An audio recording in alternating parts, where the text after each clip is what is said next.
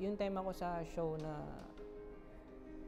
deeper reflection dito sa Altromundo. Uh, may pagka-personal kasi yung approach ko dun sa sa konsepto ng show. Kasi kumbaga challenge ko yung sarili ko eh, na na i-flex pa yung isang look ng style, yung isang look ng work. Kumbaga ito technical eh. Kumbaga uh, uh, tinatry ko pang i-flex bend yung yung yung posible pang maging itsura ng nung nung painting. Madalas kasi kapag nagpe-painting ako, once na lumundag ako sa isang sa isang idea, iniiwanan ko na yung yung yung look ng yung isang work eh. Kumbaga nagkakaroon ng gap. So ang idea ng show na to, para kung inuusisay, para kung hinihimay-himay bawat detalye bago mag-hop sa isang sa isang part ng paint, eh, sa isang sa panibagong look nung ano, nung nung piyesa.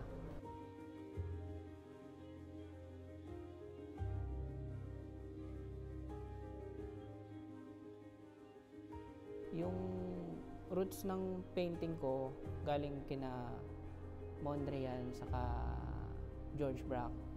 Bali sila yung yung dalaw yun, yun yung dalawang style na pinagsama ko para ma-produce ko yung yung style na ginagawa ko ngayon.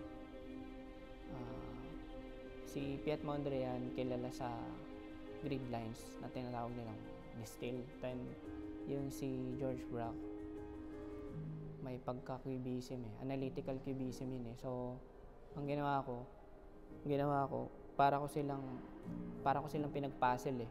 Pinagsama ko sila para makabuo ng panibagong itsura ng trabaho.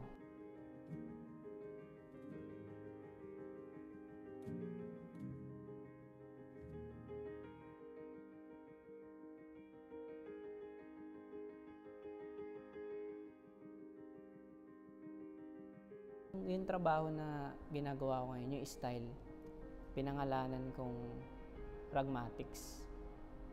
Yung pragmatics na yun, galing yun sa word na pragmatics, pragmatism. Pinagsama ko yung pragma saka yung visual kinetics. Kaya naging pragmatics yung yung tawag ko doon sa painting. Then dahil nga linear yung trabaho, um, diagonals, verticals, horizontals. Nandoon yung yung yung movement eh, yung progress doon sa doon sa work eh. Mafe-feel mo na gumagalaw visually yung yung yung painting eh. May pagka-optical art kasi kasi parang tinitrick niya yung mata mo na na parang gumagalaw yung mga linya eh. Pero hindi siya totally gumagalaw. Ano lang, um, parang pag tinitignan mo lang siya, para siyang umiikot counter, ah, clockwise. Bali, yun kasi yung nakikita ko palagi pag tinitignan ko yung mga pyesa ko eh. Parang umiikot siya na parang parang pa, pa clockwise yung, yung trabaho. So, nandun din yung yung illusion sa mga lines. Sa akin na lang bilang artist eh, kapwa, kapwa ko mga pintor, ang magiging role na lang namin sa panahon ngayon ng crisis. Ito yung time na dapat talaga nakapokus kami sa sa studio namin eh. Nandoon yung nandoon dapat yung hindi ka mapanghihinaan loob ng loob kasi nandoon yung nandoon yung doon dapat yung hindi ka mapang, mapanghihinaan ng loob kasi kapag napanghinaan ka ng loob sa panahon ngayon, baka nandun yung, nandun yung time na manawa ka sa ginagawa mo. Kaya ako, ginagawa ko lang, talagang nagre-research lang. Sinasamantala ko na nakakulong. Although sa lahat naman ng pagkakataon, nakakulong kaming mga artist sa sarili, sa mga studio namin.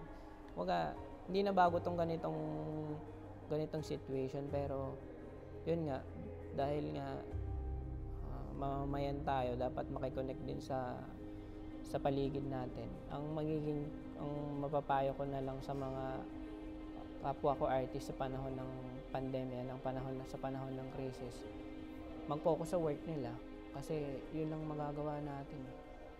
Kumbaga the show must go on kahit anong mangyari